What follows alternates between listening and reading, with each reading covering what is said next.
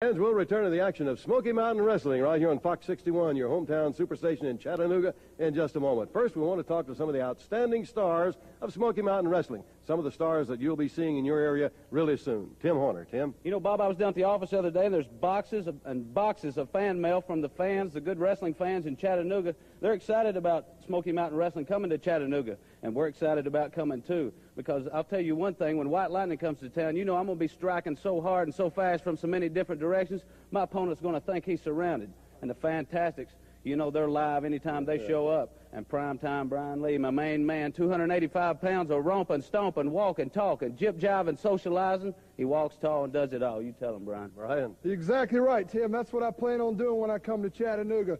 With this type talent here and the athletes in Smoky Mountain Wrestling, there's nothing but 100% competition. That's why I'm here. When I get to Chattanooga, I guarantee you one thing. Primetime Brian Lee will put the cancellation on somebody, and it's one, two, three, lights out. And the Fantastic. You know, Bob, I want to tell you something right now. I'm a big fan of professional wrestling myself, and I'm so excited about the opportunity to come to Chattanooga with the history behind Chattanooga wrestling. And Smoky Mountain Wrestling is working hard right now on bringing some of the greatest stars right here on Fox 61 live throughout the whole entire area. So I want all those people to fire it up because when Bobby Fulton and Jackie Fulton come to Chattanooga, brother, we're going to come with all four barrels loaded. And let me tell you something, Bob, we're not going to be a stranger to any opponent when we step in that ring and when the smoke's clear and with the fan support we're going to come out winners, Bob. Hey, Jack. That's right. You know, I'm excited about going to Chattanooga, too. Remember the great time we had last time we were there, Bobby? right, right. Remember all the great fans? I can't wait to get there and shake each and every one of their hand and hug all those pretty young ladies because I know Chattanooga has some of the prettiest girls, not only in Tennessee, but all throughout the United States.